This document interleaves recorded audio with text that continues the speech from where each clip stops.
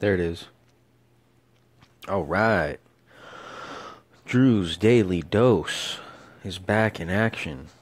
Uh, first episode after having my cousin Jay Biggs, or as my other cousin Neek used to call him, Jay Biggity, the White Niggity, um, on the podcast. Phenomenal episodes, amazing. We had fun doing them. And, uh, yeah, first episode back since, uh, those amazing ones. And this time, I'm just going to jump right into it. I want to talk about. Drum roll, damn it. I needed a drum roll right there. I want to talk about Jim motherfucking Carrey and how motherfucking woke he is. You know, because he, man, he is. It's like he gets it. I don't know what he's doing. Because he had this bizarre interview on uh, some kind of red carpet event or for some art festival or something. And uh, he freaked out the E lady, the the lady that was interviewing for the E channel, and um, and it was really a lot of people called it strange. They said he was like kind of wacky and out there. I mean, he's always been a wacky and out there guy, but he's re- very, very, very, and really, really intelligent, and uh, you know, he just he studies a lot of stuff, and and uh, he's been giving these interviews about his uh, documentary that he made with uh, it's called Jim and Andy, I think. Yeah, Jim and Andy or Andy and Jim. No, I think it's Jim and Andy. And I can't wait to watch it. I don't know if it's out yet. Um, it's like an independent film kind of thing. Excuse me, sorry. Um, so, so yeah, that's gonna be uh, a good one. I really can't wait to watch that because he played Andy Kaufman in the 1999 film Man on the Moon. Um, phenomenal film, one of his best, I think, in my opinion. And uh, but anyway, my point is, Jim Carrey just really, really gets it right now. Like he's just the things he's saying is just waking me up, and it's making me just. And I don't know what he like. If he's doing this, I think yeah, he's like doing this to like wake people up. But I don't know if he's just doing it because he's like trying to. I don't know. I I heard different theories. You know, I heard one theory that he's just doing all this stuff to, uh, or I guess that interview particularly was him playing a character because he's got some kind of show on Showtime. I, I know he's got that show on Showtime about the stand up comics and stuff. Really great show. I watched the first episode. I don't know if I finished it, but I started watching it. It's really good. And, uh, but, um, uh, I think that, I don't know. I think that's bullshit. I think it's just Jim being Jim. And, and I can't even explain, like, how he explains it. Like, the stuff he's been explaining. So I am going to play a couple of clips. I got to, you know, I got to share them on here. It's only right. Um, and, uh, and yeah, I can't wait to share him on here. Cause like he talks about like how he, I'm not even gonna, cause I'll butcher the shit out of it. Let me see if I could just pull it up and play these clips, um, of Jim Carrey's interviews only a couple of minutes, or one of them's a couple of minutes. The other one's like five minutes max, I think. But it's just Jim, just you know, it's a visionary stream of consciousness. As I always say, I have that, but he truly, this is a stream of consciousness, like for real, no bullshit. And uh, Jim just really gets it. He truly does. I'm gonna see if I can play it. I hope it sounds okay. Um, I'm gonna see if I can uh, play it to where it's really loud and you guys can really hear it. Um, excuse me. But uh, if not, I'll just I'll just play it on the next episode or something because I don't really have time to. I kind of just jumped right into this episode of Drew's, Drew's Daily Dose. So, let me see. Uh, here it is. I found it. Now, let's just hope it sounds okay. Okay, this one is the five minute one. And I'm going to bump that volume up. Alright. Okay. Right. Just run that back. Run that back one time. Perfect. Okay. Volume all the way up. Guys, good evening and welcome to Mike's Here it Cyber We're discussing Mandela Effect and the Live. Thanks for joining. How, how did it impact you playing Andy Kaufman? I think that it, it showed me that there were characters being played everywhere. That, you know, that as an actor you play characters, and then if you go deep enough into those characters, you realize that your own character is pretty thin to begin with. You know? And then you suddenly have this separation and go, well, who's Jim Carrey? Oh, he doesn't exist, actually. There's, there's just a, a relative manifestation of consciousness appearing and uh, and then somebody gave him a bunch of ideas. They gave him a name and a religion and a nationality, and he clustered those together into something that's supposed to be a personality. And it doesn't actually exist. There's and none of that stuff, if you drill down, is real. Are you, is it fair to say that it pushed you into some kind of existential crisis? Fugue state. Well, I mean, Uh, yeah, it's kind of what it you're wasn't saying. a crisis, it's an existential uh, existential experiment, but that's been my life. You know, I Mm. believe that I I got famous so that I could let go of fame. You know, and it's still happening, but not with me. What do you mean by that? What does that mean? I'm not a part of it anymore. There's no Now you're not a part of- involved. You're not a part of what? No, I like dressing happens, doing hair happens, uh, interviewing happens, and it happens without me, without without the idea of a me. You know what I'm saying? No. Uh, I I'm know it's a deep. weird little semantic jump, and it's not that far, but it's a universe apart from where most people. Uh, Is live. this how, okay, so you were certainly at one time one of the most famous people on the planet. No, I'm still. Okay, you're One of still the one of the famous most famous people. people on the planet. Okay, um, that is a that is a mind-bending experience, and everybody deals with it in different ways. And you also Right. have a particular. You're an artist. I mean, you have a particular personality. So, how, wh- where are you now on that continuum of like? I'm not on the continuum. There's no me. There's just what's happening. And it's Okay. not personal. So, like, the difference between money and my money is a gigantic chasm, you know? Uh, so, that's how it feels. It feels like, you know, things are happening, you know, and they're going to happen whether I attach, attach myself as an ego to it or not. You know, there's grooves that are cut pretty deep, you know, from my entire life. I still, there's still a, an energy that wants to be admired and wants to be clever. And there's still, uh, there's still an energy that wants to free people from concern. And, uh, and, uh, and now it goes further. I want to, you know, kind of relate what this is to people so that maybe they can also kind of glimpse the abyss of it sounds scary but it's not it's Well, it, know, it's, it's awfully profound for comedy.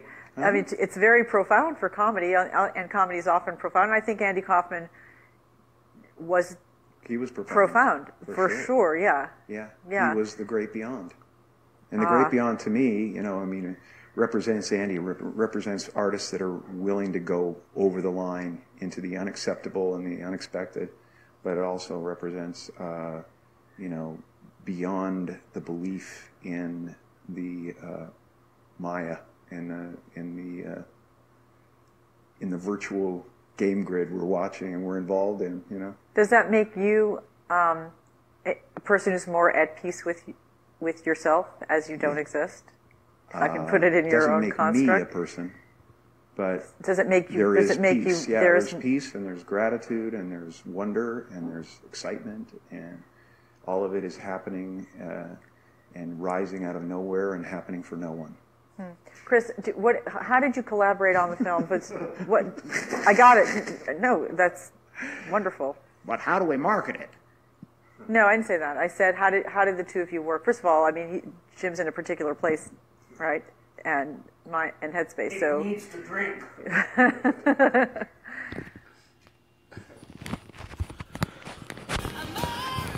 Boom. Mind blown. And that to me is just so amazing. Uh, if you want to watch the interview, because you kind of do need like his facial expression and stuff, like, like you know, he laughs when he says a couple things. But um, this clip particularly is called Mandela Effect Documentary Dash The Wrap Dash. Jim Carrey explains more about the matrix of reality.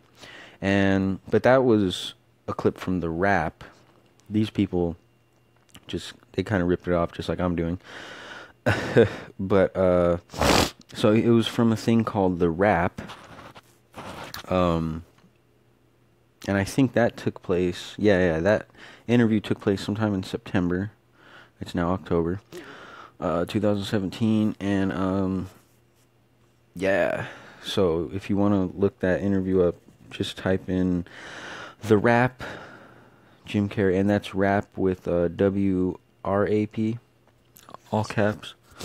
But these people kind of like stole it. I don't know what they're doing. It says Mandela Effect documentary. I, I guess they're making a documentary and they stole that clip and put it in their documentary. I don't know. But anyhow, watch that interview. It's effing amazing. There's a couple other interviews too. That and I I'm not gonna play all of them, you know, because then that would be my whole show. and then it'd be all. I mean, I guess I still couldn't do that, but my point is that was amazing. Everything he said, everything, every fucking minute, every millisecond of what he was explaining right now was just truth. I mean, it was a thousand million percent truth. And uh, this one's only a couple minutes. I'm going to play this one because, once again, this one is absolute truth. And this one is actually it's all in Spanish, but this was around the same time. Uh, oh, it says ET Canada. He gave an interview. I think he was in Canada. It was a Canada Film Festival, because you know he is Canadian. He's uh. Okay, here it is. No, that's in Spanish. All right. Well, anyhow, uh, play one more clip where he kind of explains it, and uh enjoy this mighty, mighty wisdom of Jim Carrey, aka Jim's uh, James Carrey, as he was known on. What, okay, why isn't this playing? There it goes. As he was known on In Living Color. All right.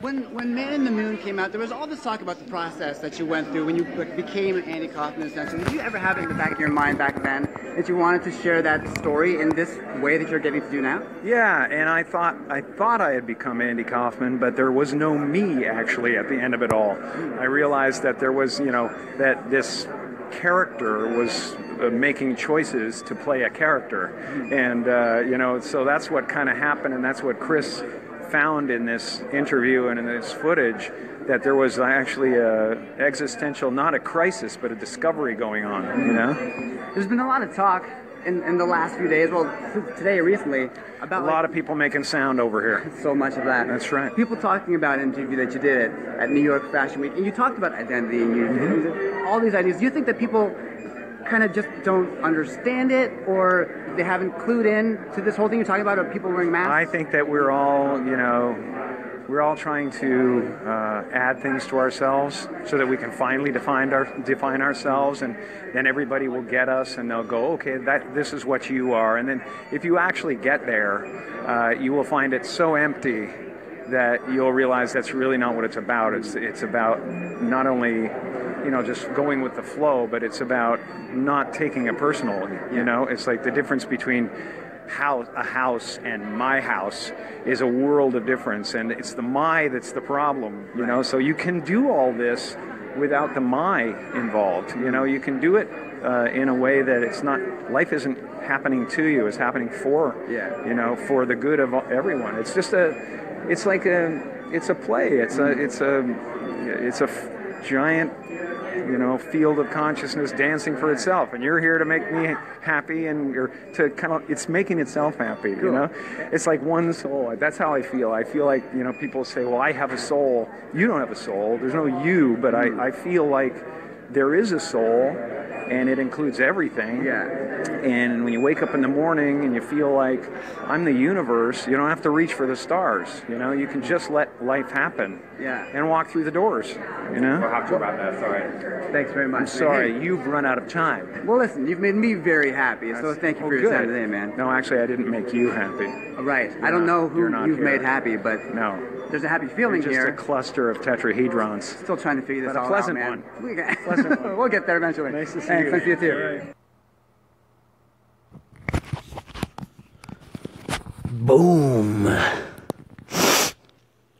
Man, talk about freaking man, wisdom and just getting it, you know?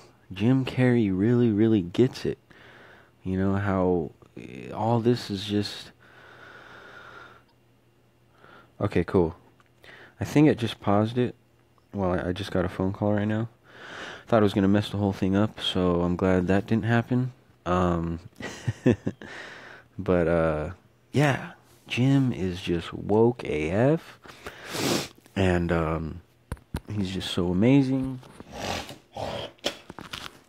And I'm still like studying it, but he's I think he's just basically saying we're all connected in the universe, and like all this is just the matrix. It's all just bullshit. I mean, there are a lot of different theories out there how we're just like a God's dream or we're just like God's dream. Yeah, like God's dream and we're just this manifestation of his thoughts and like and how it's just it's just yeah, it's it, it's the matrix if you really really think about it. Like all this is just bullshit. You know? Everything. It's just all bullshit. I mean, I still enjoy life, you know, like, and I think that's the most important thing to do in life. Like, a perfect day to me would to be spending time with my family, of course. Family's number one for me. Spending, making memories with them, and you know, I love this quote: "Precious, or wait, precious moments with precious people." I like that one because it is. It's it's really precious. That to me is the most important. But outside of spending time with family, I really love um, jujitsu, uh, working out, um, uh, music, uh, well, playing piano. Lately, I've been trying to learn piano, learning a different language, Spanish, French. I'm mainly learning Spanish though, but I was learning French there for a while but I kind of put that on pause just because got so much shit going on. But yeah, like I would love, and then you know I got into new things. I tried archery. Archery is really really fun. I have a bow and arrow. Uh, shooting guns is fun. you know, at the appropriate, of course, like a place like Target Masters, or you know, like at the appropriate place like a shooting range. Um, but uh, yeah, nothing illegal here. Nothing illegal going on here.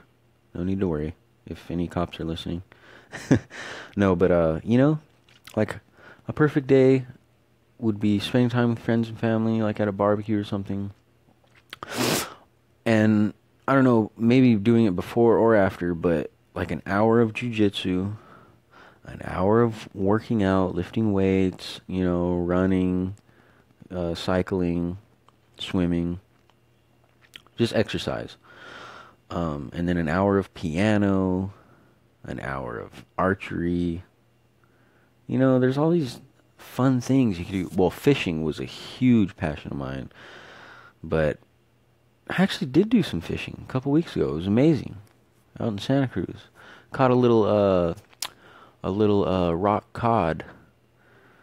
He was a little guy. Threw him back. He was bleeding out the mouth a little bit, but it, you know, he was good. But um, you know, just enjoying life and uh, you know, so we enjoy life, but at the end of the day, like you know, it's just we're all connected like all this is meaningless like he's talking about. But see he's going even deeper like into the you know the ego and and how there's no jim carrey. Like i understand what he's talking about. And a lot of people just think it's crazy talk but he you know that's the thing. When you speak the truth and shit people think you're crazy but it's the truth like you gotta really you know you gotta take some psychedelics you know and just try to figure out life you know, take some magic mushrooms. Take an eighth of magic mushrooms, at least a half eighth at the bare minimum, and you know you'll figure out life. You'll definitely it'll give you a better understanding of life. That's why I'm a huge advocate for people trying it at least once. You know, don't you know go doing shrooms every day. I mean, I would never recommend that. But or DMT. I've never done DMT, but I hear that it's very, very similar. It lets you, you know, open your eyes to what's going on, the universe, and you know, even salvia. And salvia is over the, uh, not over the counter, but you can just go to a smoke shop, you know, get some salvia, get the strongest, most potentest one they have. I think it's a what is it? What do they call it? 20x or 20 times? I don't know. Get that. Take a big rip of it, hold it in for as long as you can, just pack it in like a little pipe and just take a huge hit, hold it in for as long as possible. Slowly breathe the smoke out. And yeah, you will understand the universe. the universe will talk to you, will speak to you. But uh and I'm just so proud of Jim, man. So proud of him for spreading this awareness, like trying to wake people up you know, and it's like you can you can lead a horse to water, but you can't make him drink. And that's the bottom line right there. And that's the bottom line, cause Stone Cold said so. But uh so, you know, Jim, I'm just so proud of him, man, and and you know, and I'm I'm glad that I have the technology to play these clips. I really need to get this episode you know, posted on YouTube as soon as possible, and um, you know, so uh, my fans can hear it, my millions of fans. um, but um, yeah, to try to wake people up because life's too short, and like I'm, as I grow older, I'm starting to figure it out, and uh, of course, it takes things like this, like Jim, you know, to help wake me up and and uh, and help me live a better life by understanding you know life and what you know what's going on like what's really going on here? You know i mean shit man i just i want to break it down but i i feel like i don't have you know i don't have all the proper paint brushes to fully paint you the picture of what he's saying. But i mean just play it over and over and study it. And you know you'll really start to get it you know cuz uh cuz it's uh it's amazing words that he said. They truly are every single one of them i mean we're here and it's like everybody like stuff is happening. I know it sounds stupid but it's like but it's true. Like all this stuff is happening and it's like are you gonna uh you know, yeah, like, oh, man, see, that's the thing. I just can't perfectly explain it. So I feel like I shouldn't even try, but because it's like, oh man, like me, Andrew, you know, I'm 30 years old right now. So, you know, I was given a name. You know, I mean, I was given all these ideas in the in the uh, education system growing up you know, the American education system. Um, I'm just giving these thoughts, I'm giving these beliefs, like, you know, I'm, you know, I've been giving a race. You know, I'm half Filipino, half white. My white side is German, Irish, Swedish.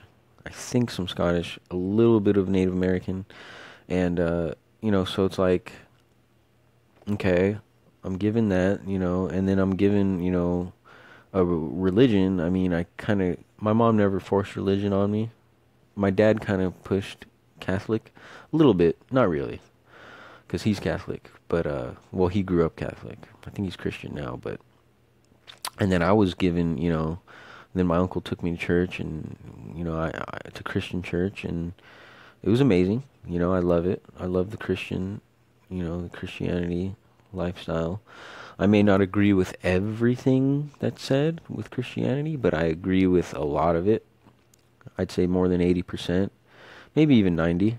Um, you know, and because some people are just whoa, it's like whoa, buddy, like you're too far out there. You know, like those crazy ass Bible thumpers.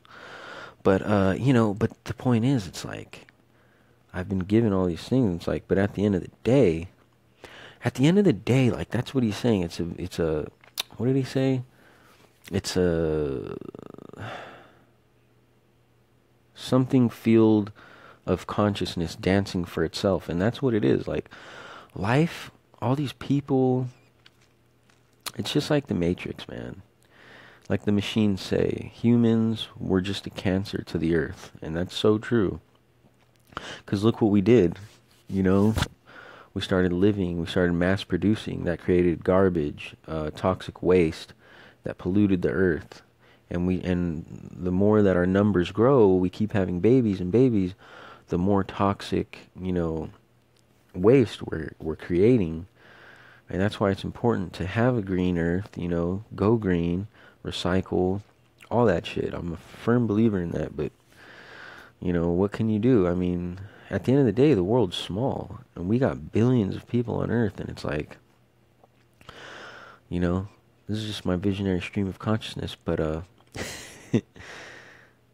um, but I mean, this is all truth right here, and so yeah, and I think that this is also just my own personal theory. He's coming to all these realizations because I did hear his girlfriend died, like she killed herself kind of recently, and that was a big deal. So it's probably him, like just being more accepting of death. And but see, that's what, because I heard when you, let's say I got stabbed in the stomach or whatever, in the chest when I die or as I'm dying, DMT actually drips in your brain and makes you accept death, which is super fascinating because it drips when we go to sleep. You know, when we uh, hit that REM sleep, that dimethyltryptamine drips, and that's what makes us trip out and have dreams.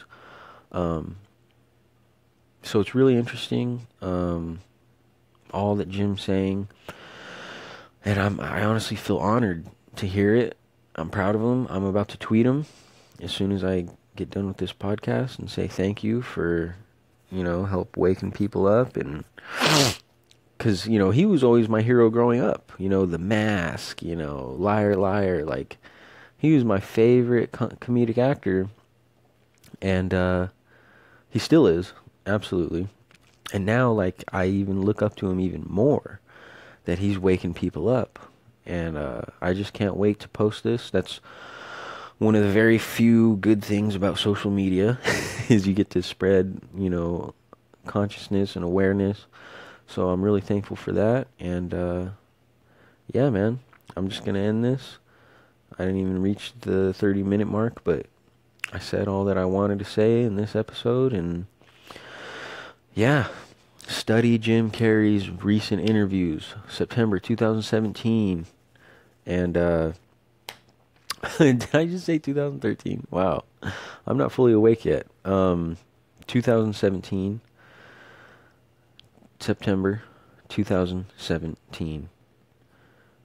YouTube it, research it, and uh, have a blast, people. And yeah, peace and love always. Spread the good.